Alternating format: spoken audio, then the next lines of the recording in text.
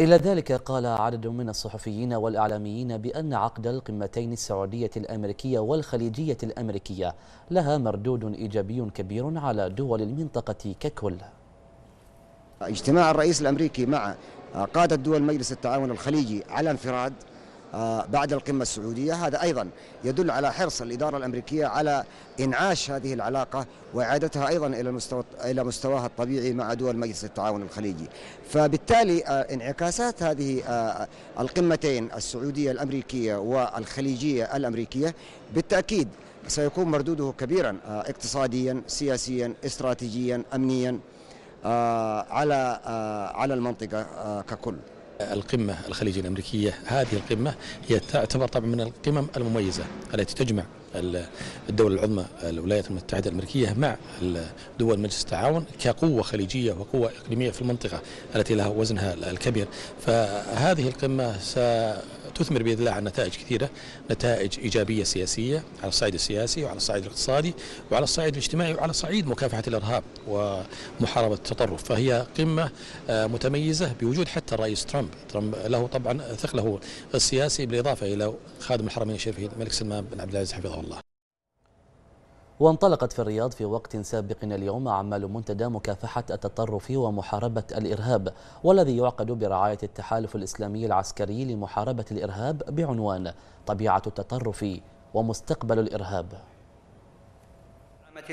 برعاية التحالف الإسلامي العسكري لمحاربة الإرهاب انطلقت في الرياض فعاليات الدورة الافتتاحية لمنتدى الرياض لمكافحة التطرف ومحاربة الإرهاب بعنوان طبيعة التطرف ومستقبل الإرهاب ويناقش المنتدى أنواع وتأثير التطرف والتصور المستقبلي للإرهاب ودور وسائل التواصل الاجتماعي وتأثيرها على التطرف. مراكز الدراسات والبحوث آه، تلعب دور فاعل في هذا المجال. آه، ومن هذا المنطلق جاءت مشاركة مركز البحرين للدراسات الاستراتيجية والدولية والطاقة الذي يرتبط بشراكة مع مركز الملك فيصل للبحوث والدراسات الإسلامية الجهة المنظمة لهذا المنتدى. الهام الذي يجمع الخبراء لتبادل الخبرات في مجال مكافحة الإرهاب ومناقشة التحديات واستشراف المستقبل ويزيده أهمية آه، هذا المنتدى الذي حظي برعاية التحالف الإسلامي العسكري لمحاربة الإرهاب. ويهدف المنتدى إلى تجاوز حالة الانقسام الحالية والشروع في حوار مفتوح وبناء في إطار العمل الجماعي. ويتضمن برنامج المنتدى أربع جلسات نقاشية تركز على قضايا الإرهاب الرئيسية التي تواجه العالم واستكشاف الآليات التي يمكن من خلالها لدول العالم.